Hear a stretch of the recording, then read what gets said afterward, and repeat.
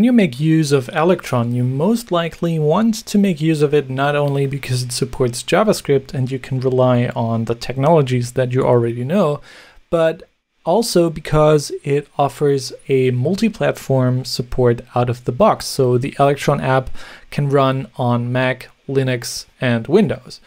But as I said, the current Electron build command is only going to build for the operating system that you are currently on. To fix this, this is a common uh, set of scripts that I use in my apps. So here they are. We have build OS X, build Win, build Linux, and build all.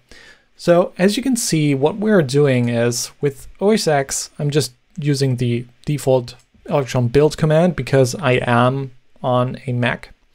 For Windows, we are defining that we want to have a Windows build, and this Windows build will be for 64-bit systems as well as 32-bit systems. You can, of course, skip this if you don't want to support uh, older computers.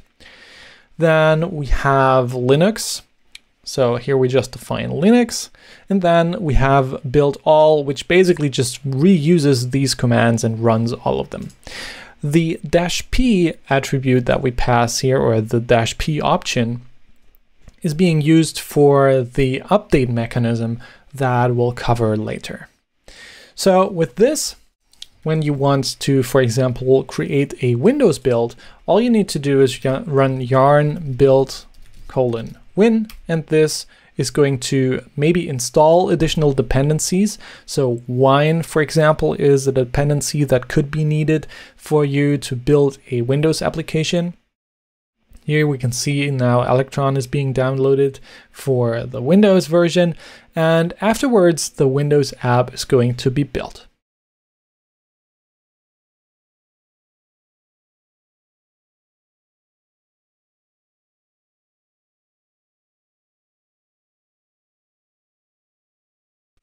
All right, and now if we take a look at the dist folder, then we can see that we have a couple more files in here. So now we have the executable for Windows as well as the block map file.